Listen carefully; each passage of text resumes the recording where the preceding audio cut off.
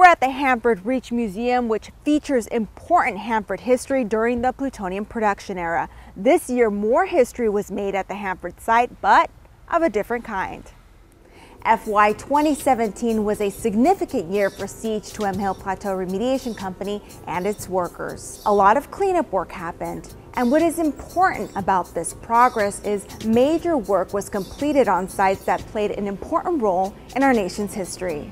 Safety and worker involvement is our top priority and key to our success. Some of our major projects worked more than 1 million safe hours in FY17, and CH2M received several awards, including a third consecutive National Safety Award for the Department of Energy Volunteer Protection Program, the Star of Excellence. This brings us a step closer to our goal of receiving the highest honor in safety for the Department of Energy, the Legacy of Stars, by 2018. The plutonium finishing plant played a major role in strengthening our nation's weapons supply, beginning in the 1940s. This year, explosives brought down PFP's ventilation stack,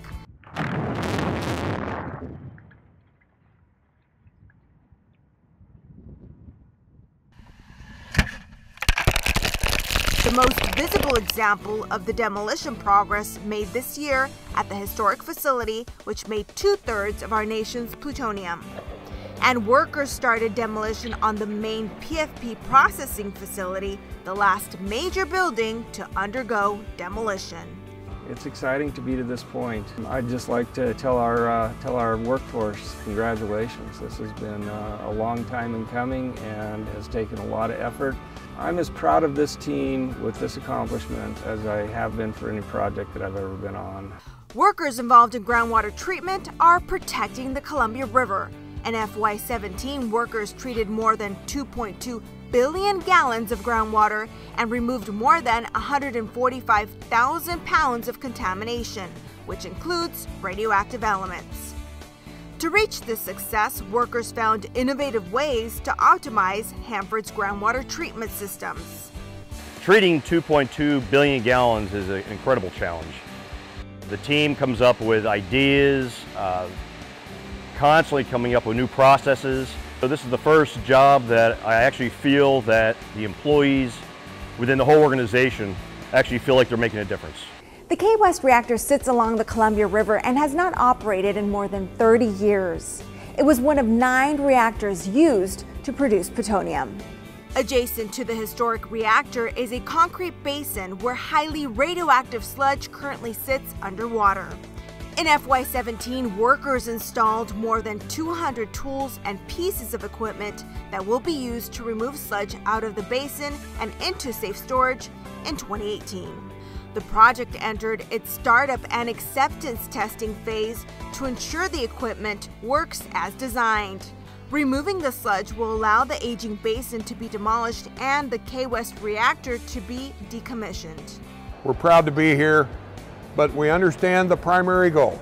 That's to make our environment safer and to make a safer workplace for our workers that come to work here every day. The Waste and Fuels Management Project advanced preparations to receive sludge at T-Plant, installing and testing equipment and updating procedures. At the Waste Encapsulation and Storage Facility, crews finished grouting activities.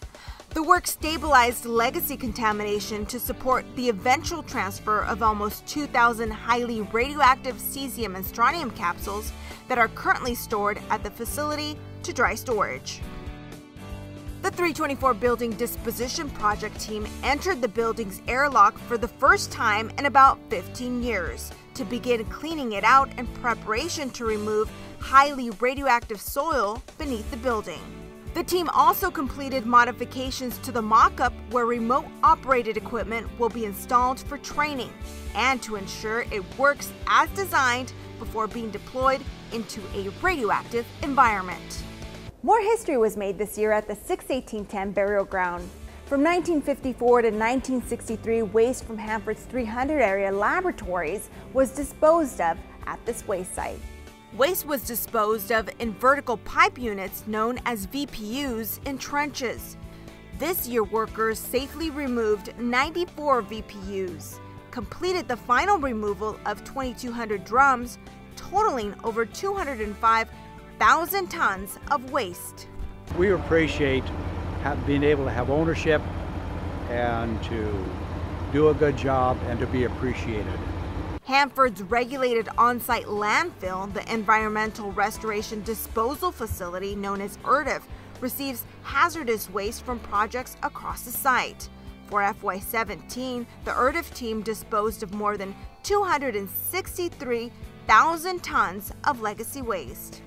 In May of 2017, the world's attention focused on the Hanford site when part of a legacy waste storage tunnel at the plutonium uranium extraction facility known as Purex collapsed.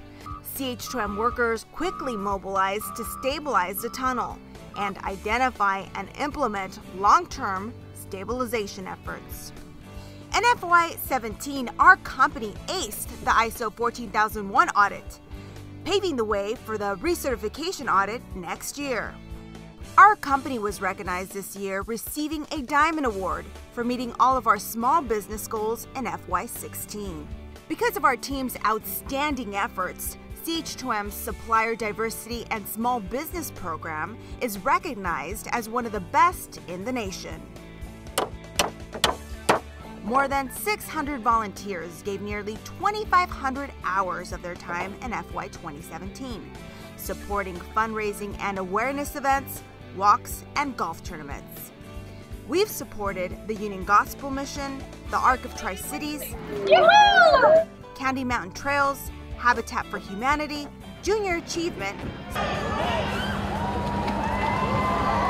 Special Olympics, and Engineers Week, among others. CH2M employees are investing in our community, enhancing our future, and changing lives. A big thank you to our workforce and for its dedication for the protection of the Columbia River and the community that we live in. As we move into the new year, we will continue to make history by completion of several of our historical cleanup jobs, and we look forward to sharing that with you.